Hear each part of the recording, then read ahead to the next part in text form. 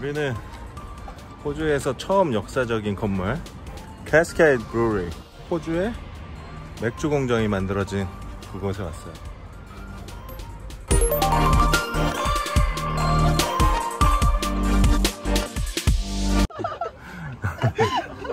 유민이 안녕.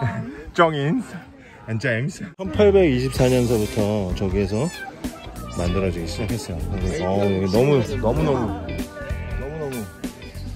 일단 이런 맛있는 법을 저기요 제가 이거 마시는 법은 이렇게 해서 마시는 거예요 이렇게 그리고 맥주는 트위스터 제일 맛있어요. 오케이 첫 번째 테이스트는 라거 두 번째는 드럼 세 번째 뭐였다고? 페일라일. 세 번째도 아 페라이 아 맞아 여기 세? 번째는 라거. 스트럼? 라거 있지. 리컬랜드 스페셜 많을 때 그거를 해가지고 식초 한 방울, 설탕 한 방울 불면 맛있어. 그래서 연이 말을 끝까지 들으면 안 돼. 빨리 또 못하는 소리 해야지. 아니면 요거는 last is stock, this is stock, and this um, just fresh off the line. 얘, 얘말 듣고 있으면은 어지럽지 않니?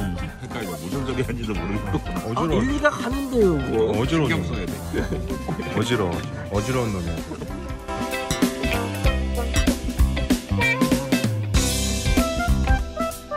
아, 우리는 이제 살라망카에 와가지고 이제 또 시푸드를 먹. 아니, 불가는 여러분, 안녕.